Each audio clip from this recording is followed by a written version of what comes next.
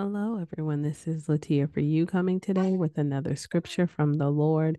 We are in Hosea chapter 5, verse 9, Genesis chapter 6, verse 3, and Joshua chapter 6, verse 3. Let's go ahead and pray and we can get started.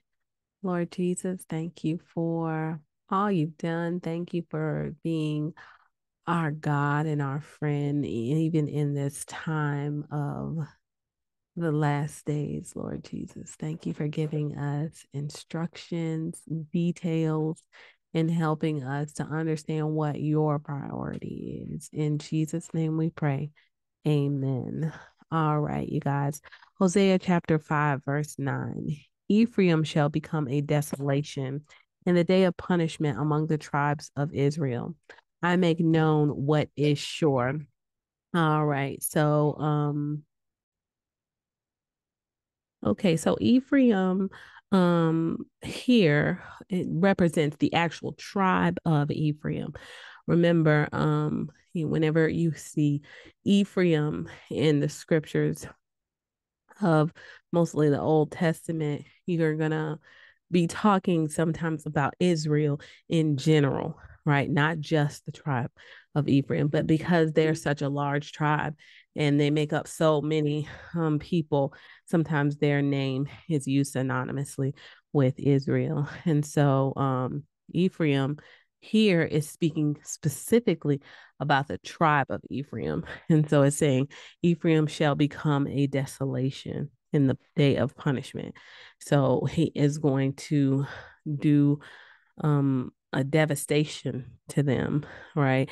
And so it says, among the tribes of Israel, I make known what is sure. So, amongst all the other tribes, he is going to have a special punishment for Ephraim. And so, um, the one of the reasons um, Ephraim is standing out here is because of the whoredom, right?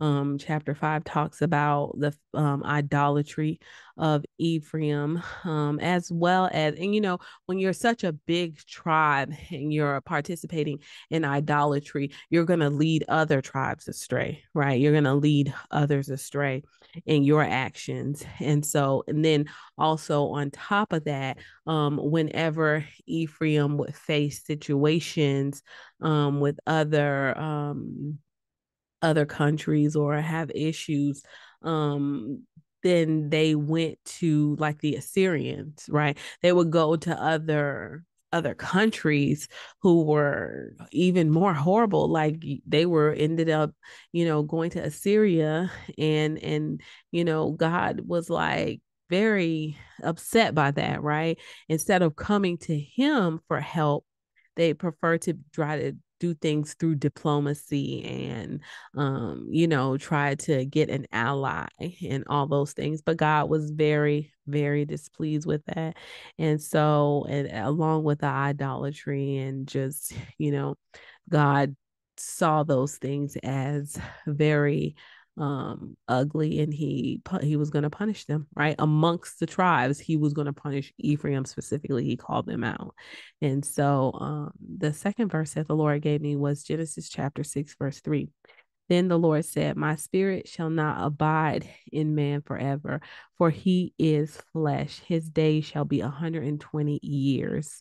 All right. And so this is just talking about the fact that um man is going to have an end as far as God's spirit abiding with man, right? God's spirit is not going to always be here on the earth, right?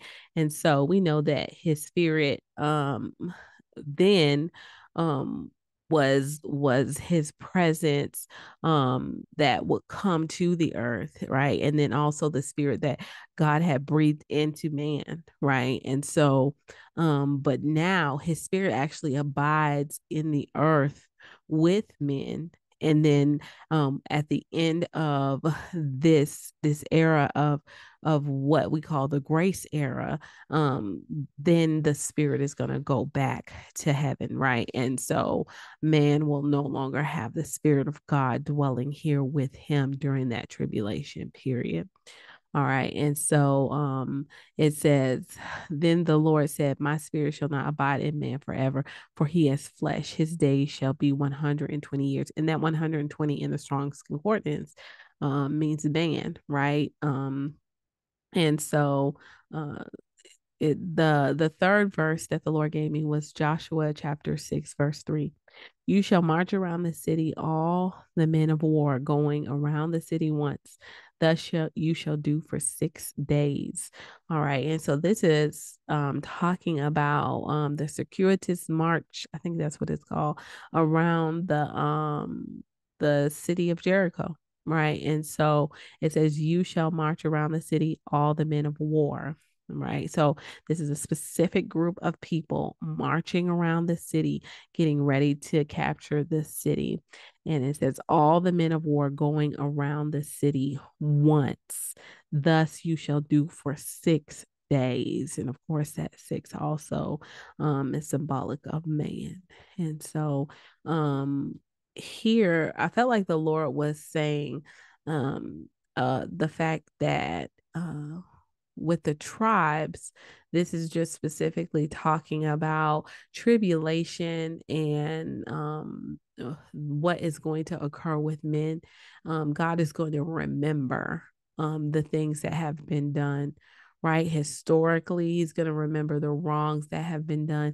He's going to remember the the deeds of men, right? Um, as it relates to Ephraim, specifically the tribe of Ephraim he i feel like he was he was saying that tribe in itself he still is going to um vi- visit punishment right? Specifically um outside of just the realm of Israel specifically the tribe of Ephraim. And so um then also um in the Genesis chapter 6 verse 3 where it's talking about his spirit not abiding with men. It is just talking about the leaving of the Holy Spirit during the rapture, right? And so when that spirit leaves the earth, we are going to be going with it, the church, right? Those who have allowed the spirit to dwell inside of us and we be led by the spirit. All right. And so um the third verse that the Lord gave me, the Joshua 6 3, um, is speaking about taking the city of Jericho, right? Taking what belongs to us. And um, though this, even even though when you look at this uh taking of Jericho, um, this it seems like such a violent taking of a city, right? But they actually did not have to do a siege on the city of Jericho the walls came tumbling down through obedience, right? And that is a symbol of wise brides, right? There's this set apart group, which are considered the men going to war. So those are the people who have worked for God. Those are the people who have put their hand to the plow. Those are the people who are set apart for the service of God, right? So they are wise brides. And so they are walking around the city in obedience, right? They are walking around um, in silence for six days right? And and um getting ready to take the city on the seventh day at the completion right? And so seven being the number of completion. And so um this is speaking of the obedience of man while he was here on earth right and in in doing what god said to do. So they will walk around every single day and that is symbolic of us doing the will of the father every single day and the reward is that we're not going to have to siege the city right? When we we live for the city to come right? Our the city that we are taking is going to the gates are going to open and we're going to walk right in. Just like with the city of jericho the people didn't have to knock the walls down. The walls came down because God allowed that to happen, right? Through their obedience, God knocked down the walls in the heavenlies, right? And so, in the same way, when we are taken um, to the heavenly realm, when we get to this gate, we're just going to be able to walk right in. Why? Because the obedience has already been there. The wise bride has already been obedient. He has already, she has already um, done the march around the city. She has already been obedient to the words and the instructions that have been given. So now the city will be given to them, the kingdom of God. Amen. All right, you guys, let's pray. Thank you, Father God, that you have a plan for tribulation. You have a plan for your bride and her protection and her inheritance. Thank you, God, that we can um, abide with you and not just your spirit stay and abide with us on earth, Lord God. We say thank you. We love you. We ask you to forgive us for our sins and help us to be ready and obedient in the taking of this new kingdom in the in the occupation in the living in our father's house lord god and receiving our inheritance we thank you for that in jesus name we pray amen all right, you guys, if there's anybody out there who would like to receive Jesus as your Savior and Lord, go ahead and pray this prayer with me. But more than anything, believe it with all your heart as you confess it with your mouth. Dear Lord Jesus, I ask you to come into my heart. I make you my Lord and Savior. Jesus, I believe you died on the cross, and I believe you rose again on the third day so that I could be saved. Thank you, Father God, for doing this for me. In Jesus' name I pray. Amen. All right, you guys, if there's anybody out there who would like to rededicate their heart to the Lord, maybe you've fallen away or you have gotten off the path that you know God has placed you on, go ahead and pray this prayer with me.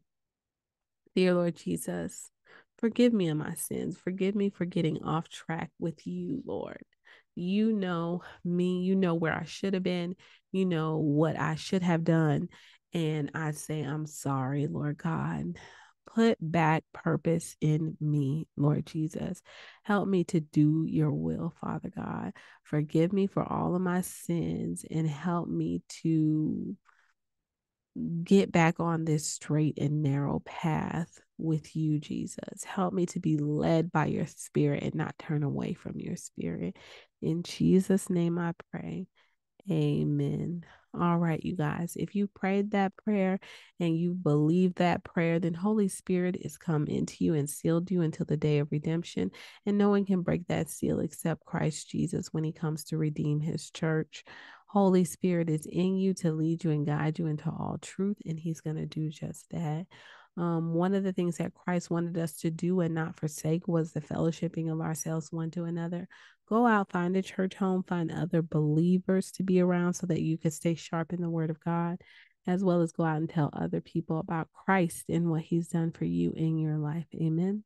Also, go out and be baptized in the name of the Father, the Son, and the Holy Spirit in the name of Jesus. All right, you guys, take care and be blessed.